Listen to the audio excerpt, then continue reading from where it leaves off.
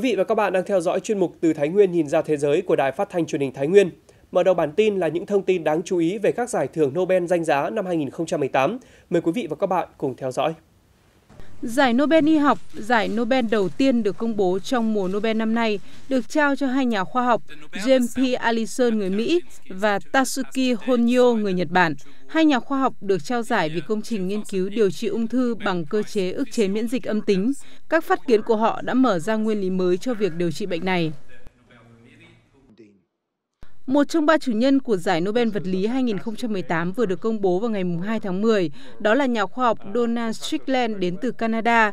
Bà là người phụ nữ đầu tiên giành giải thưởng danh giá này trong vòng hơn 50 năm qua và là người thứ ba từng đạt giải Nobel vật lý sau Marie Curie và Maria Gopper Mayer. Bà Strickland cũng là người phụ nữ Canada đầu tiên đạt giải Nobel vật lý. Giải Nobel Hóa học năm 2018 được trao vào chiều ngày 3 tháng 10 theo giờ Việt Nam, thuộc về hai nhà khoa học người Mỹ là Frank Hanner, Roger Smith và Roger Winter người Anh, với công trình nghiên cứu enzyme theo phương thức tiến hóa có định hướng và thể thực khuẩn của sự kết hợp hai hay nhiều axit amin tạo thành chuỗi và kháng thể. Chủ nhân của các giải Nobel trong năm nay sẽ được trao giấy chứng nhận, huy chương vàng cùng phần thưởng tiền mặt – Lễ trao các giải Nobel y học, vật lý, hóa học, kinh tế sẽ được tổ chức vào đầu tháng 12 tới tại Stockholm, Thụy Điển. Riêng giải Nobel Hòa bình sẽ được Ủy ban Nobel của Na Uy công bố và trao giải thưởng tại thủ đô Oslo. Xin được tiếp tục chương trình với những tin tức đáng chú ý khác. Tổ chức kỷ lục thế giới Guinness chính thức công bố một kỷ lục mới của phụ nữ về môn lướt sóng.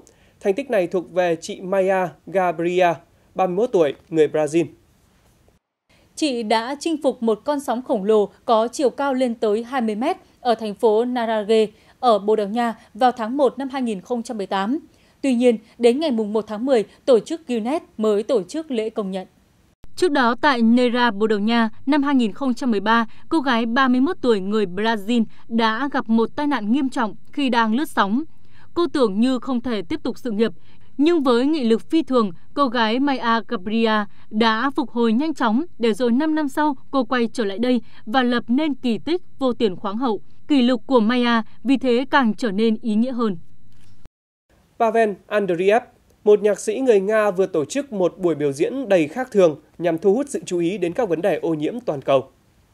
Dự án với tên gọi Hơi thở của hành tinh nhạc sĩ người Nga này đã cho đặt một cây đàn piano giữa một bãi trôn lấp rác thải ở khu vực phía bắc của thành phố Leningrad. Trong một đoạn video được đăng tải trên phương tiện truyền thông xã hội, Andreev đã chơi piano trên các cồn cát giữa những tiếng kêu của những chú mỏng biển. Andreev cho biết anh nghĩ ra ý tưởng về buổi biểu diễn độc đáo này sau khi anh có buổi biểu diễn piano trên một hồ nước ở công viên tự nhiên Ruskela nổi tiếng của Nga. Xử lý rác thải đã trở thành một chủ đề được thảo luận rộng rãi ở Nga năm ngoái khi mùi hôi thối của một bãi rác ở khu vực Moscow khiến người dân địa phương liên tục biểu tình phản đối. Benny, một chú chó 6 tuổi, đã trở nên nổi tiếng tại thành phố Las Vegas của Mỹ sau khi thể hiện khả năng trượt băng độc đáo. Trong đôi giày trượt độc đáo được thiết kế riêng cho hai chân trước, Benny có khả năng di chuyển linh hoạt trên sân băng.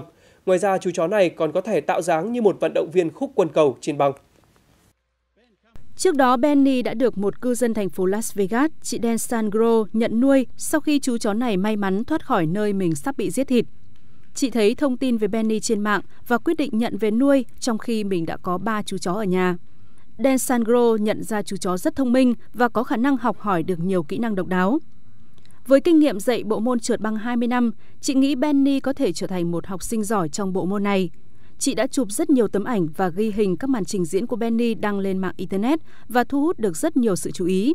Hiện Dan Sangro đang đặt mục tiêu giúp Benny trở thành một thành viên trong Hiệp hội Khúc Côn Cầu thành phố Las Vegas.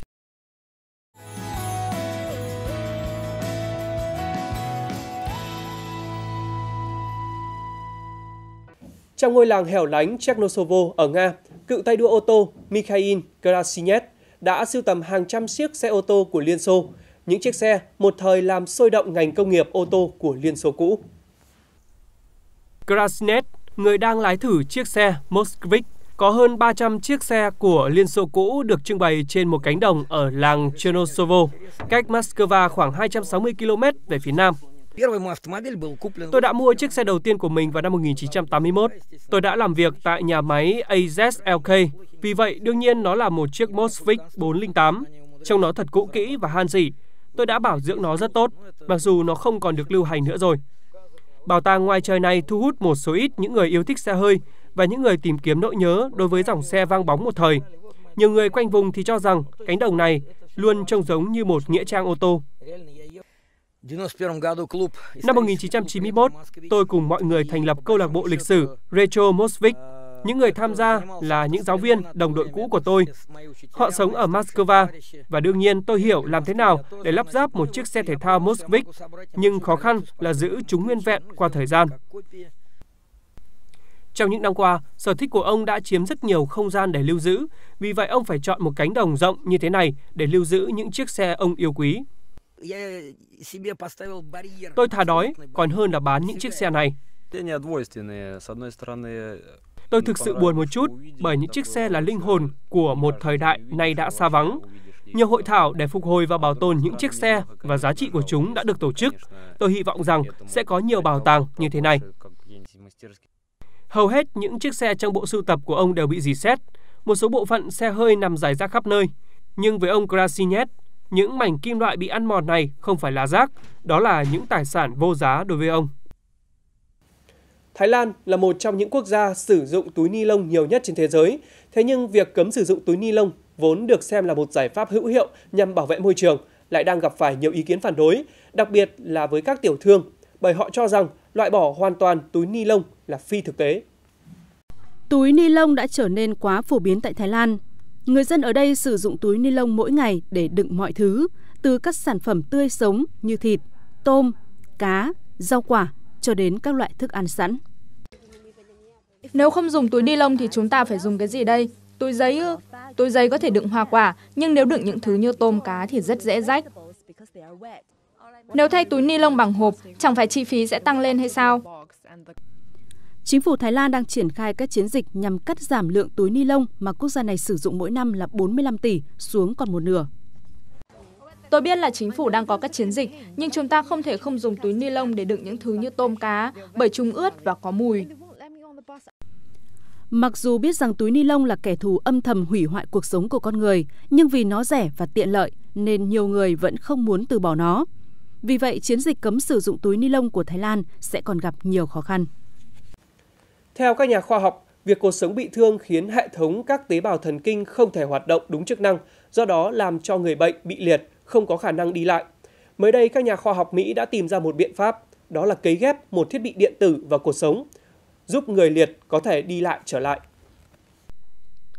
Anh Zechinok bị liệt từ năm 2013 sau một chấn thương nặng. Sau ca phẫu thuật cấy ghép được thực hiện tại trung tâm Mayo Clinic của Mỹ, anh đã có thể tự bước đi những bước đầu tiên. Được đứng trên đôi chân mình và có thể đi lại, dù chỉ là những bước rất nhỏ, đã mang lại cho tôi rất nhiều hy vọng. Anh Chicknock được cấy một cục điện cực dưới vùng bị thương. Điện cực có một dây kết nối với máy điều hòa nhịp tim, cũng được cấy vào cơ thể. Hệ thống có thể tắt mở nhờ điều khiển từ xa, giúp thay đổi điện áp và kích thích chính xác khả năng đứng và đi lại. Điện cực giúp kết nối lại các tế bào thần kinh ở hai chân với não của bệnh nhân, giúp tế bào thần kinh nhận tín hiệu và ra lệnh cho đôi chân thực hiện hành động đi đứng. Dù vậy, đột phá trên vẫn được kỳ vọng là có thể giúp hàng triệu bệnh nhân bị liệt đi lại bình thường trở lại. Đến đây chuyên mục từ Thái Nguyên nhìn ra thế giới của Đài Phát thanh Truyền hình Thái Nguyên cũng xin được tạm dừng. Cảm ơn sự chú ý theo dõi của quý vị khán giả. Xin kính chào tạm biệt và hẹn gặp lại.